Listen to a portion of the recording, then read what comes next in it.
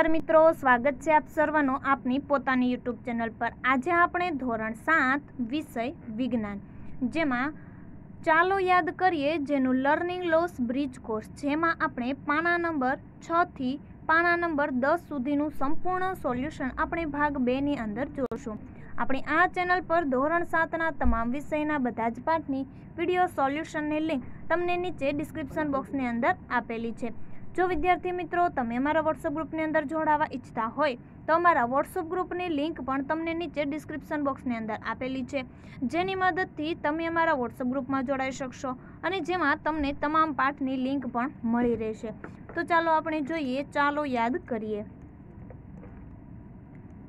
જેમાં અહીંયા આપેલું છે, પ્રશ્નોના જવાબ મેળવવા માટે સરળ તપાસ હાથ ધરે છે.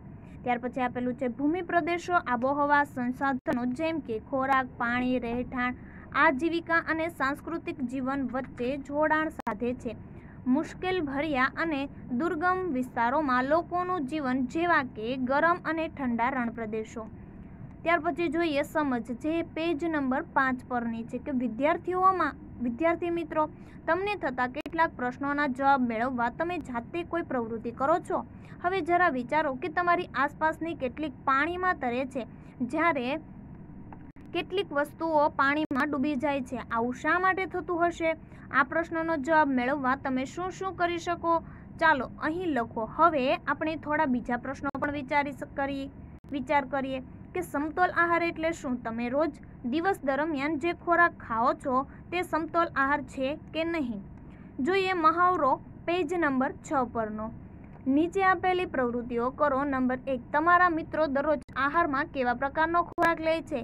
તે નીચેના કોષ્ટકમાં નોંધો અને તે સમતોલ આહાર લે છે કે કેમ તે ચકાસો. જોઈએ વિદ્યાર્થીનું નામ લખવાનું. ત્યાર પછી તે કેવા પ્રકારનો આહાર લે છે અને શું તે સમતોલ આહાર લે છે, હા કે ના? તો પહેલા વિદ્યાર્થીનું નામ છે આસ્થા. તો કે દૂધ, ફળ, શાકભાજી, અનાજ અને કઠોળ તે સમતોલ આહાર લે છે. ત્યાર પછી નમ્ર. તો અનાજ, કઠોળ અને શાકભાજી તે પણ સમતોલ આહાર લે છે. ત્યાર પછી રિયા. તો કઠોળ અને અનાજ તે સમતોલ આહાર લેતી નથી. તો આપણે અહીં લખીશું ના. ત્યાર પછી નંબર બે. ગાય અને કૂતરાને તમે કેવા પ્રકારના પ્રાણીઓ કહેશો? માંસાહારી, તૃણાહારી કે શાકાહારી? શા માટે? તો જવાબ આવશે કે ગાય શાકાહારી પ્રાણી છે કારણ કે તે ફક્ત ઘાસ ખાય છે. કૂતરો માંસાહારી પ્રાણી છે કારણ કે તે અનાજ અને માંસ બંને ખાય છે.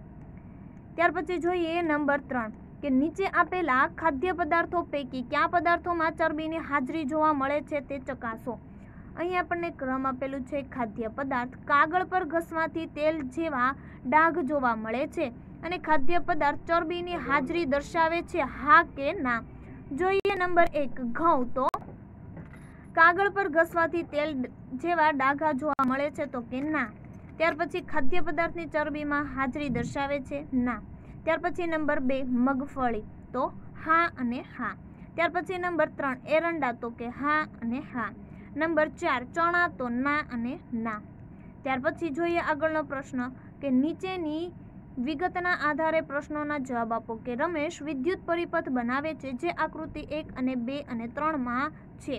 ત્રણ વખત વિદ્યુત પરિપથ જોડવા છતાં વિદ્યુત બલ્બ પ્રકાશિત થતો જ નથી. વીજ પરિપથની આકૃતિનો અભ્યાસ કરી બલ્બ પ્રકાશિત ન થવાનું કારણ જણાવો. ત્યાર પછી જોઈએ તેમાં એ આકૃતિ નંબર એક. જે તમે અહીં જોઈ શકો છો આકૃતિ કે વિદ્યુત બલ્બ પ્રકાશિત થતો નથી કારણ કે ખુલ્લો પરિપથ છે. ત્યાર પછી બી આકૃતિ નંબર બે. જે તમે અહીં આકૃતિ જોઈ શકો છો કે વિદ્યુત બલ્બ પ્રકાશિત થતો નથી કારણ કે બેટરીના ધ્રુવો ઊંચા, ઊંધા જોડાયેલા છે. ત્યાર પછી જોઈએ સી, આકૃતિ નંબર ત્રણ. જે તમે અહીં આકૃતિ જોઈ શકો છો કે વિદ્યુત બલ્બ પ્રકાશિત થતો નથી કારણ કે બલ્બનો ફિલામેન્ટ ઉડી ગયેલો છે. ત્યાર પછી, હવે રમેશને તેની ભૂલ સમજાઈ ગઈ. તેણે એવો પરિપથ બનાવ્યો કે વિદ્યુત બલ્બ પ્રકાશિત થાય છે. તો રમેશે બનાવેલ પરિપથની આકૃતિ દોરો, જે તમે અહીં આકૃતિ જોઈ શકો છો. ત્યાર પછી આગળ જોઈએ કે પ્રક્રિયા અને ઘટનાના ઘટનાને કારણો સાથે જોડો. તેની સમજ આપેલી છે પેજ નંબર સાત પરની સમજ જોઈએ. તો વિદ્યાર્થી મિત્રો, આપ સૌ વિવિધ રાસાયણિક ભૌતિક પ્રક્રિયાઓ ઘટનાઓથી પરિચિત હશો. અગાઉના ધોરણમાં આપણે વિવિધ પ્રક્રિયાઓ વિશે શીખ્યા છીએ. આ પ્રક્રિયા કઈ રીતે થાય છે? પ્રક્રિયામાં ક્યાં ક્યાં ઘટકો હશે? પ્રક્રિયામાંથી કઈ કઈ નિપજો પ્રાપ્ત થાય છે? પ્રક્રિયા થવા માટે ક્યાં ક્યાં કારણો જવાબદાર છે? આવા વિવિધ પાસાઓમાંથી આપ પસાર થયા હશો. તો આર્યનને આજે પેટમાં દુખે, ખૂબ દુખે છે. તેનું કારણ પૂછતા તમે તરત કહેશો કે તેણે ગઈકાલે કોઈ વાસી ખોરાક ખાધો હશે? તેવી જ રીતે ગીતાબેનને ગોઈટર નામનો રોગ થયો છે.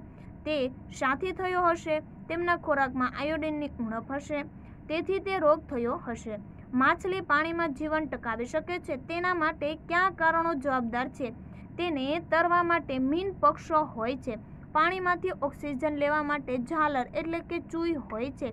તેના શરીર પર ભીંગડા હોય છે. આ બધા જ કારણોને લીધે તે પાણીમાં જીવન ટકાવી શકે છે.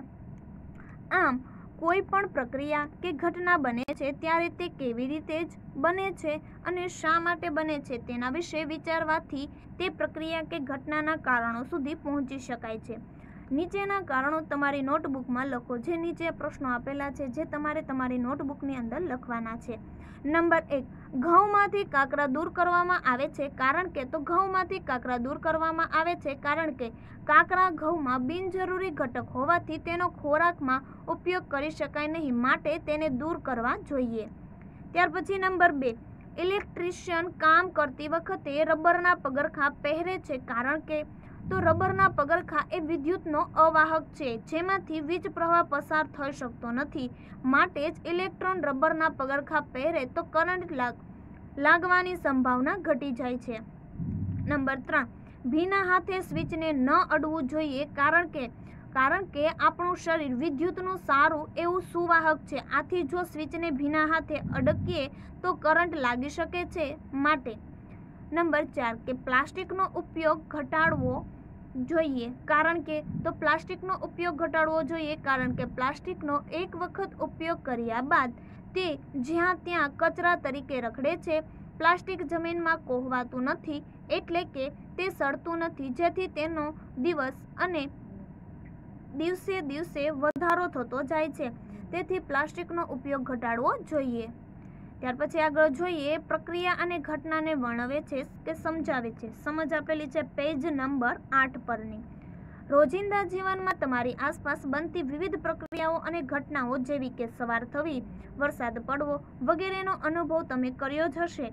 આ ઘટનાઓ અને પ્રક્રિયાઓ વિશે ક્રમબદ્ધ વર્ણન કરવું એ અગત્યનું છે. દાખલા તરીકે વરસાદ પડવો. તો પૃથ્વી ઉપર રહેલું પાણી સૂર્યની ગરમીથી બાષ્પ બની આકાશમાં ઊંચે ચડે છે. ઊંચાઈ પર તાપમાન ઠંડુ પડતા બાષ્પનું ઘનીભવન થવાથી પાણીના બિંદુ બને છે. આવા ઘણા બધા પાણીના બિંદુઓ ભેગા થતાં વાદળ બને છે અને વાદળમાંથી વરસાદ સ્વરૂપે પાણી પૃથ્વી પર પાછું આવે છે. જે તમે અહીં પ્રક્રિયા આપેલી છે, જે તમે જોઈ શકો છો કે આ રીતે તમે કોઈ પણ ઘટના કે પ્રક્રિયાને તબક્કાવાર વર્ણન કરી શકો છો, જેમાં ઘટના કે પ્રક્રિયા થવા પાછળ સૌ પ્રથમ કઈ ક્રિયા જવાબદાર છે? ત્યાંથી શરૂઆત કરી ક્રમશઃ ક્રિયા પ્રક્રિયા ઉમેરતા ઘટનાનું વર્ણન કરી શકાય. જોઈએ મહાવરો. તો પેજ નંબર નવ પરનો મહાવરો જોઈએ કે માનવ જાતે સમયની સાથે જુદા જુદા પદાર્થો, વસ્તુઓનો પોતાના શરીરને ઢાંકવા ઉપયોગ કર્યો છે. કાપડના મટીરિયલમાં ક્રમિક વિકાસ થતો રહ્યો છે. નીચે તમને તેના વિવિધ સોપાનો આપ્યા છે. આ સોપાનોને સાચો ક્રમ વિધાનની બાજુના ચોરસ બોક્સમાં આપો. જોઈએ. સોયની શોધ થતાં સીવવાની શોધ થઈ. તો આપણે અહીં તેને આપીશું નંબર ચાર. નંબર એક આપીશું કે પ્રાચીન સમયમાં લોકો વૃક્ષોની છાલ અને પાંદડા કે પ્રાણીઓના ચામડાનો ઉપયોગ શરીર ઢાંકવા માટે કરતા. ત્યાર પછી નંબર બે આપીશું. પ્રાચીન ઇજિપ્તના નાઇલ નદીની નજીક કપાસ સાથે શણનો પાક પણ ઉગાડવામાં આવતો. અને નંબર ત્રણ આપીશું. કૃષિ સમુદાયના લોકો કુંબળી કુંપળો અને ઘાસનો ઉપયોગ સાદડી અને ટોપલા બનાવવા માટે ગૂંથણ કરતા શીખ્યા હતા. અને ચાર નંબર આપીશું કે સોયની શોધ થતાં સીવવાની શોધ થઈ. ત્યાર પછી આપણે આગળ જોઈએ યોગ્ય જોડકા. જોડો અ વિભાગ આપેલું છે અને બ વિભાગ આપેલું છે. નંબર એક, વીણવું. તો ચોખામાંથી કાકરા દૂર કરવા. નંબર બે, ઉપણવું. તો દાણામાંથી હલકા ફોતરા દૂર કરવા. નંબર ત્રણ, ચાળવું. તો રેતીમાંથી કાકરા દૂર કરવા. નંબર ચાર, બાષ્પીભવન. તો પાણીનું વરાળ સ્વરૂપમાં રૂપાંતર થવાની ક્રિયા.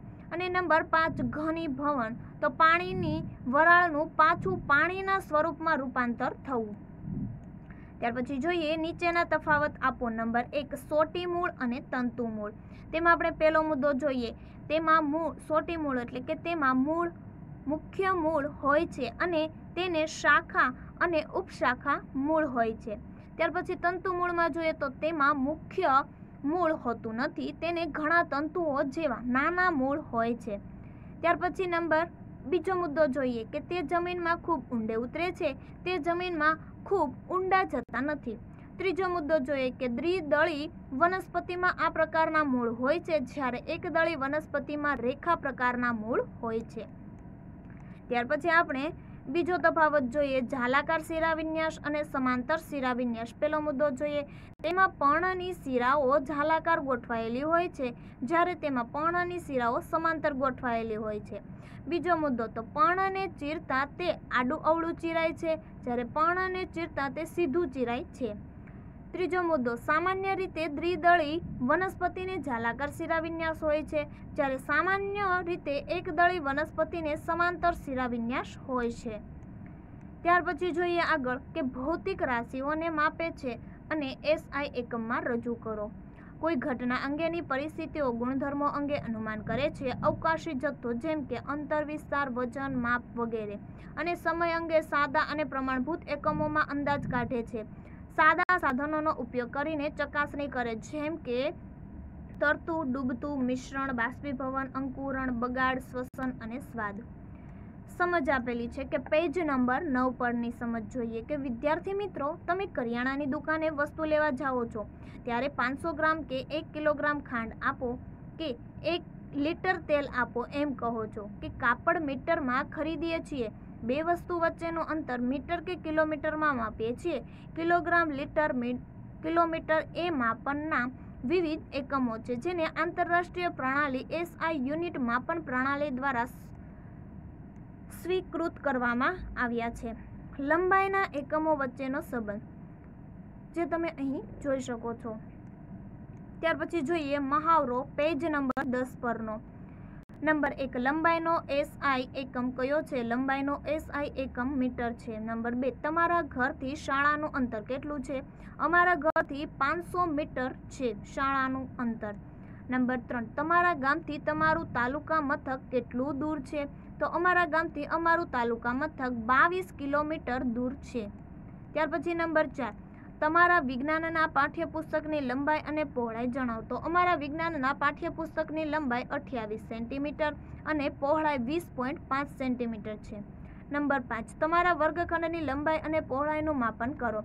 તો અમારા વર્ગખંડની લંબાઈ છ મીટર અને પહોળાઈ પાંચ મીટર છે. ખાલી જગ્યા પૂરો. નંબર એક, એકસો પાસઠ સેન્ટીમીટર બરાબર ખાલી જગ્યા મીટર તો એક પોઈન્ટ પાસઠ મીટર. નંબર બે એક હજાર પંચાણું મીટર તો એક પોઈન્ટ ઝીરો પંચાણું કિલોમીટર નંબર ત્રણ પચીસ મીટર મિલીમીટર બરાબર ખાલી જગ્યા સેન્ટીમીટર તો બે પોઈન્ટ પાંચ સેન્ટીમીટર નંબર ચાર બે હજાર મીટર તો બે કિલોમીટર નંબર પાંચ બસો સેન્ટીમીટર તો બે મીટર તો આ વિડીયોની લિંક તમે તમારા મિત્રો અને દોસ્તોને જરૂરથી શેર કરજો, જેથી તે લોકોને પણ આ ચાલો યાદ કર્યાનું સંપૂર્ણ સોલ્યુશન મળી રહે. હવે આપણે ફરી મળીશું આગળના બીજા ભાગના વીડિયો સાથે. જો વિદ્યાર્થી મિત્રો તમને આ વીડિયો પસંદ આવ્યો હોય તો લાઈક અને શેર કરવાનું ભૂલશો નહીં.